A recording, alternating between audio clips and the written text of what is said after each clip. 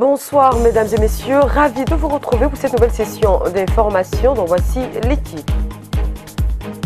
Le syndicat national de santé publique manifeste à Nouakchott et brandit la menace de surenchère si le ministre de la Santé ne satisfait pas à ses doléances.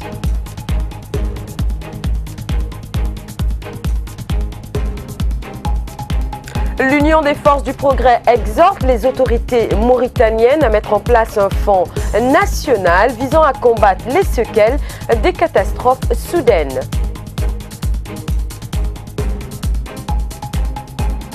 Le mouvement national de libération de l'Azawad suspend plusieurs de ses membres sur fond de participation de ces derniers à la création d'une nouvelle structure.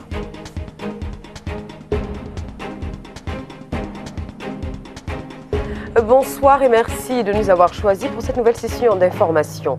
Le syndicat national de santé publique a organisé un sitting à Nouakchott pour exiger la hausse de la de risque et celle de garde nocturne ainsi que le règlement de l'indemnité d'éloignement. Le syndicat accuse le ministère de la Santé d'autisme à l'égard des revendications légitimes de fonctionnaires qui s'échiennent à la tâche, critiquant au passage le statut des cycles, brandissant l'entame d'une série de manifestations analogues et de surenchères au cas où la tutelle continuerait à faire la sourde oreille à la grogne des fonctionnaires de la santé. Plus de détails dans ce reportage de Fofanaïssa.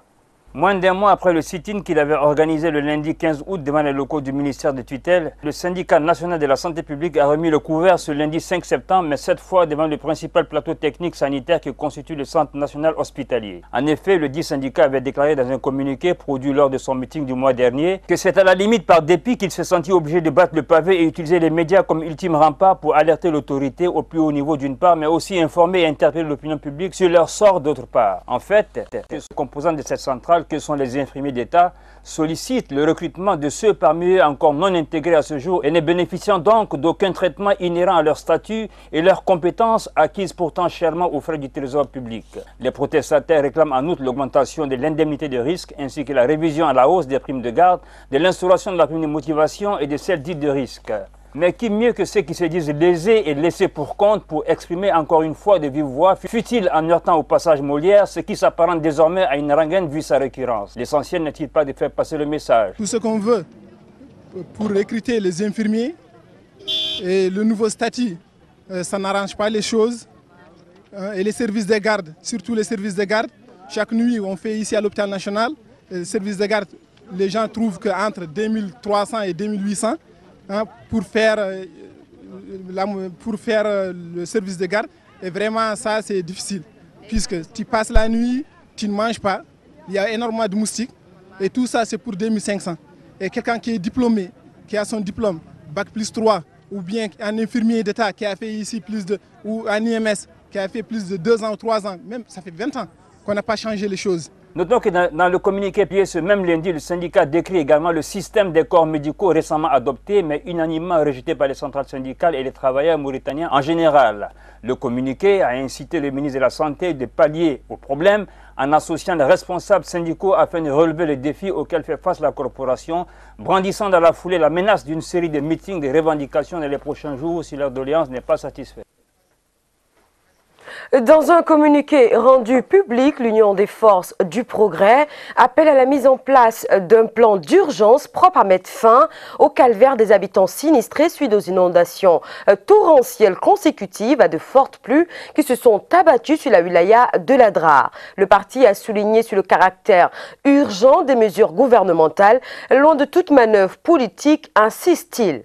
Le parti de Mohamed Oul a exhorté le gouvernement à créer un fonds national devant être consacré aux séquelles des catastrophes soudaines, invitant les organisations euh, nationales et internationales à porter secours aux familles sinistrées. Jean Ping, candidat malheureux à l'élection présidentielle au Gabon, rejette les résultats annoncés par la Commission électorale nationale indépendante permanente qu'il qualifie de biaisés. Ping est le principal concurrent à Ali Bongo Odemba lors du scrutin présidentiel du 27 août dernier. Les attaques perpétrées par les organisations armées se multiplient en Afrique de l'Ouest et particulièrement au Mali et au Burkina Faso. Au Mali, un groupe armé dirigé par le Moula Omar, affilié à Al-Qaïda, après le contrôle de la ville de Boni, après en avoir expulsé l'armée et la gendarmerie nationale. Au Burkina Faso, l'organisation de l'Est islamique, de l'État islamique, a annoncé sa première opération dans ce pays qui, il y a peu, était dépourvu du fléau de la violence et de la folie meurtrière des groupes armés. Le tribunal pénal de la wilaya de Trizemour à Zouérat a émis diverses peines de prison à l'encontre de 13 détenus inculpés dans le cadre de crimes économiques. Les sentences varient de deux ans ferme par 12, pour 12 prévenus dont certains ont écoulé leur peine. La capitale a abrité lundi le démarrage des travaux de l'atelier de validation de rapports préliminaires sur la stratégie nationale de l'emploi et son plan d'action exécutif par le Bureau international du travail BIT dans le cadre du, progrès, du projet d'appui à la formation et à l'emploi des jeunes financé par la Banque africaine de développement. Dans ce cadre, le secrétaire général du ministère de l'Emploi, de la formation professionnelle et des TICS euh, Mohamed Oul Eiba, a indiqué que la stratégie nationale en la matière, couvrant la période jusqu'à 2030, permettra à la Mauritanie euh, d'avoir une vision globale de la problématique de l'emploi et de lui entrevoir des solutions à travers un plan d'action et en l'intégrant dans toutes les stratégies euh, sectorielles. Le président de l'Alliance nationale démocratique, Yacoub Oulmouen, appelle à la tenue du dialogue politique, un dialogue qui ne cesse de faire parler de lui, euh, de la part de tous les acteurs politiques du pays. Le pouvoir affirme vouloir son entame dans les plus brefs délais, euh, sans plus attendre poursuivent-ils L'opposition est partante euh, sous certaines conditions, un cercle vicieux, commenté ici par Mohamed Yahya Abdelwoudoud. À l'occasion d'un événement organisé par son parti à Tujounine, une Mokata'a située dans la wilaya de Nouakchott Nord, dans la périphérie est de Nouakchott, Yacoub Loumen, président de l'Alliance nationale démocratique AND, a appelé les divers pôles politiques à prendre part au dialogue politique imminent. Ouloumen a affirmé que la participation à un dialogue politique constructif est susceptible de jouer son rôle, celui de donner lieu à une solution propre à sortir le pays de la crise politique dans laquelle il se trouve depuis des années. Cette sortie médiatique d'Oulmouen intervient une semaine après des déclarations faisant état de l'entame prochaine du dialogue.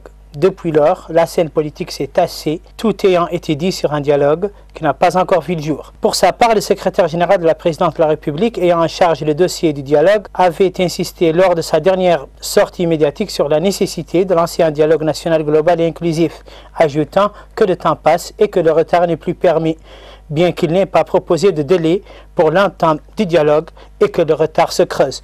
La sortie du ministre en charge du dialogue s'inscrit dans le cadre de ce que le porte-parole du gouvernement appelle des rencontres quasi officielles ayant regroupé Moulay Mohamed Laktaf et les leaders des coalitions de l'opposition. Forum national pour la démocratie et l'unité, coalition pour l'alternance pacifique, coalition du consensus national, etc. Où Mohamed Lagdaf est un représentant du forum s'était entendu sur bien des points, sauf un ou deux, dont un gouvernement d'union nationale. Ce que le forum a démenti, ainsi que Tawassul, qui affirme tous deux que le secrétaire général de la présidence de la République serait mieux inspiré d'entamer le dialogue au lieu de continuer de le commenter. Ce à quoi Mohamed Leminoul Cheikh, porte-parole du gouvernement, rétorque que le dialogue a été lancé dans les délais annoncés par le président de la République, sous forme officieuse de rencontres et de contacts en plus de conférences de presse et d'interviews dans la presse nationale et même internationale sur le dialogue. À ce jour, le dialogue en est toujours au même point. Le sujet tourne dans un cercle vicieux.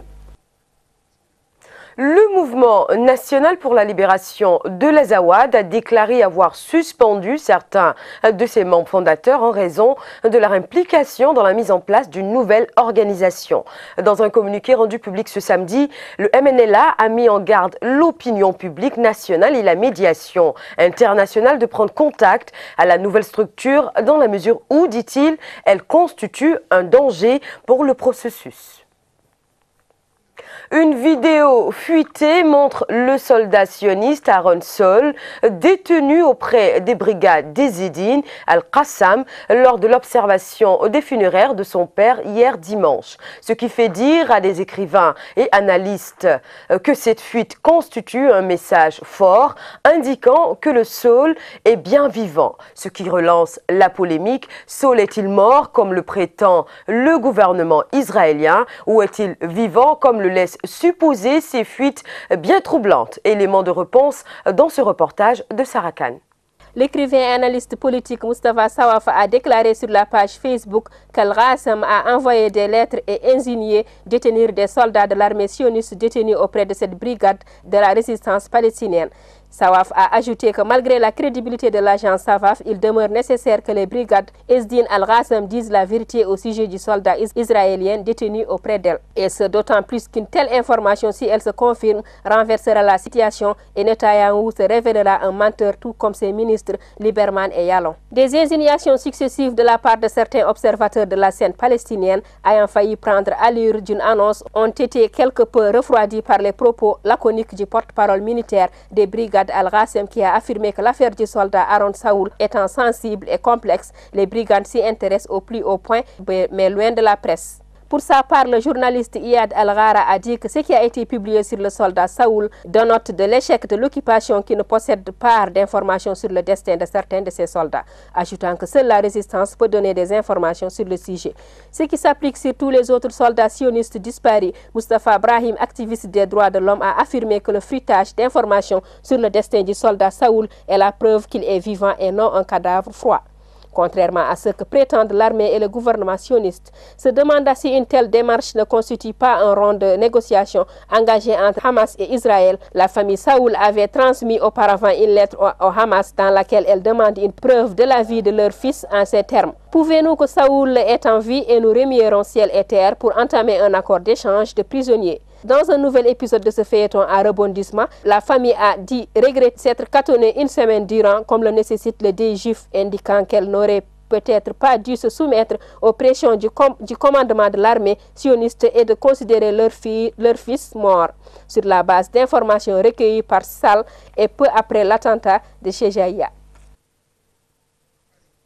Les présidents des groupes parlementaires de l'Assemblée nationale ont tenu lundi matin dans les locaux de l'Assemblée nationale une réunion de travail avec une délégation parlementaire française en visite actuellement dans notre pays. La rencontre était une occasion pour passer en revue les voies et moyens permettant de donner un nouvel élan à la coopération bilatérale entre les deux chambres parlementaires et la redynamisation,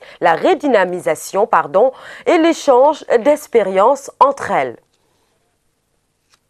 Après sa récente égalisation face à l'Afrique du Sud, la première équipe des Mourabitoun est sortie de la course des éliminatoires de la Coupe d'Afrique des Nations qui devrait, qui devra se tenir en 2017 au Gabon. À ce sujet, Sid Ahmed Oulbaba, rédacteur en chef du site rimsport.org, que les Mourabitoun pouvaient éviter ce qui est arrivé dans dans leur match en Afrique du Sud. Ils ont laissé filer eh bien des occasions, poursuit-il, au point de perdre le match et de se classer deuxième. Oulbaba a énuméré les défis qui font face au football mauritanien, absence d'installations sportives suffisantes aux normes internationales, manque de formation, en plus du problème d'entraîneur, si bien qu'il est devenu urgent d'en affecter un dédié aux joueurs locaux à plein temps. C'est la fin de cette édition. Le rappel des titres. Le syndicat national de santé publique manifeste à Nouakchott et brandit la menace de surenchère si le ministère de la Santé ne satisfait à ses condoléances. À ses doléances.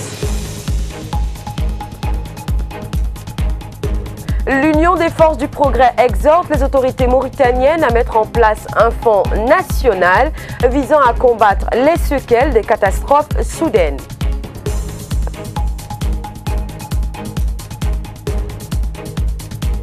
Le mouvement national de libération de l'Azawad suspend plusieurs de ses membres sur fond de participation de ces derniers à la création d'une nouvelle structure.